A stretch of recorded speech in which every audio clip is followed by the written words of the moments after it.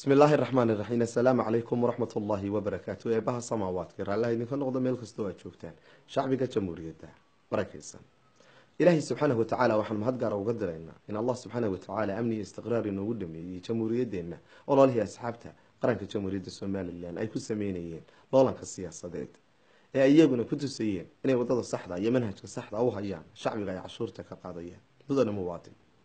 Waxaa adiga kuu kala caddaatay xisbiga aad codka siinayso iyadoo waxa weeye aad ka arkaysay ololaha iyo taageerada aadka u fara badan leh ay saxaabtu kala haystaan iyo cidda hogaaminaysa qulubta shacbiga.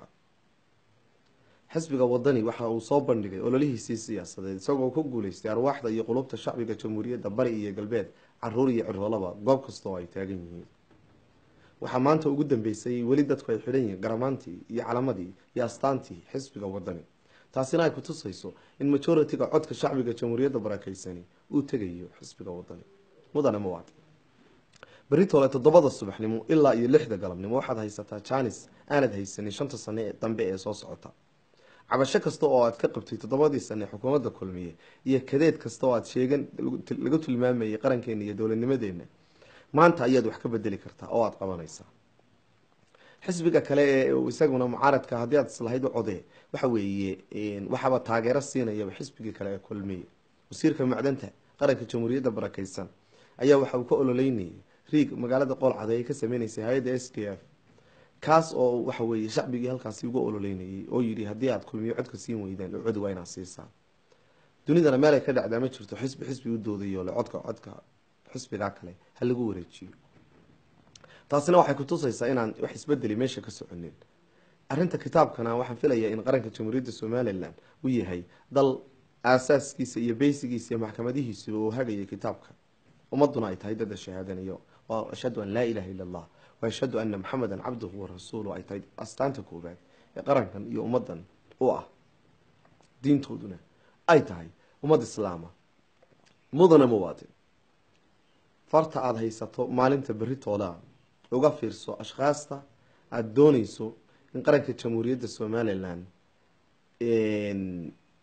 aada ku aamineyso waxaa hadda inoo sharaxan saddex musharax oo aada kala dooranayso maalinta berri toolaa toddobada ilaa lixda wakhtigaa gaaban. Haddii raashin lagu keeno ogow waa lacagtii abaaraha ee dollarkaagu ku jiray. Haddii wax kale lagu keenana ogow waa cashuurtaadii oo adiga laftigaagu xaqad u lahayd inaan dib lagugu soo celiyo haddii shantii cishe ugu dambeysay laamiyada qaarkood daamir iyo saliido laysugu walaaqayay oo lagu daadinayay ogow mudane muwaadin inaan loo samaynin. Waxqabad in adiga lagu qabtay. Xukuumadda kulmiye iyo golaha deegaanka iyo maayaraduba ay fadhiyeen toddoba sano. Kulmiyana in kulmiye lagu bedelo ay tahay kadeedka ummadda shacbiga jamhuuriyadda barakaysa. Mudane muwaadin dalkeenu wuxuu doonayaa inaynu ka tagno tafaraaruqa iyo qabyaalada iyo ninjeclaysiga iyo soo dhaweysashaha ehelka iyo qaraabada. Dalkeenu wuxuu doonayaa qof walaaleyn kara qarannimada jamhuuriyadda somalilan bari iyo galbeed. Dalkeenu wuxuu u baahan yahay carruurta tahriibaysa dad skiliska iyo vocational skills iyo tababar iyo tacliin kale ee professional ah in iyagana waxa weeye manhaj siyaasadeed loogu daro. Mudane muwaadin dalkeenu waxa uu u baahan yahay in sixir bararka laga yeesho siyaasad dhaqan dhaqaale oo lagu hagayo laguna dejinayo sixir bararka shacbiga iyo masaakiinta haysata. Mudane muwaadin askarteena jiida taagan kuwa xuduudda taagan iyo kuwa shacbiga dhex wareegaya amniga qaranka jamhuuriyadda somalilan ilaalinaya waxay u baahan yihiin in boqolkii dollar oo labaatan dollar isku bedelay aanay kafaynaynin biilka caruurtooda iskaba ilow tacliin inay u baxaan. Iyo in waxa weeye aabayaashood iyo hooyinkooda ay daryeelaan.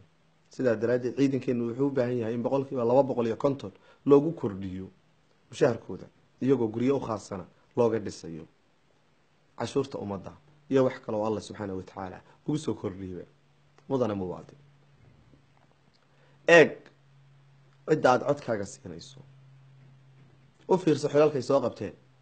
Wasiirada qaarkood waxay soo qabteen. Xilalkii ugu horreeyey abid lagu aamino inay noqdaan wasiiradii amniga loo diray ee fidinlaha gogasha. Waxayna ku hogaamiyeen in meel kasta iyo goob kastaba ay shacbigu ka qaxeen.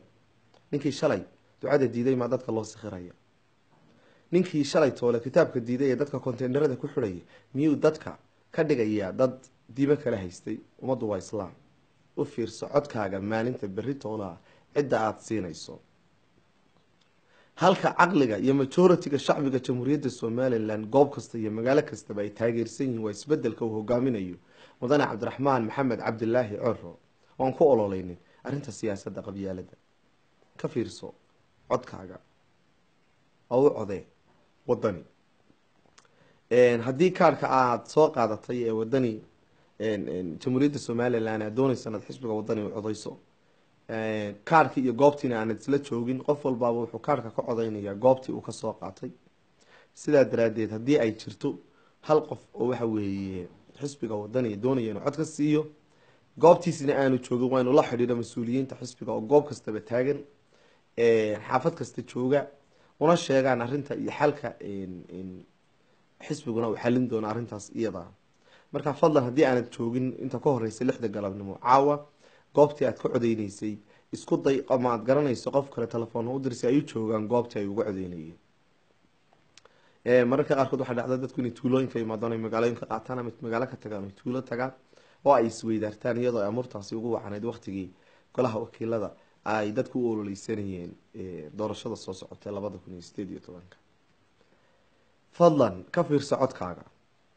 Haddii aad dooneyso inaad waaga baryay iyo waqalka da'iyo isbeddelka shacbiga jamhuuriyadda barakeysan ee ay majoritiga u noqdeen qeyb ka noqo guusha. Yes waxbaan ku lahaa guushaasi dhacday. Codkaygana waxaan siiyey. Meelo lagu dhacayo tirintuna khasaare iska tay iyo xukuumado dalka iibsaday. Inaanan siinin oon isbeddelka iyo waaga baryaya qeyb kaga noqday mudane cabdiraxmaan maxamed cabdilaahi coro waxa uu idiin ballan qaadaya.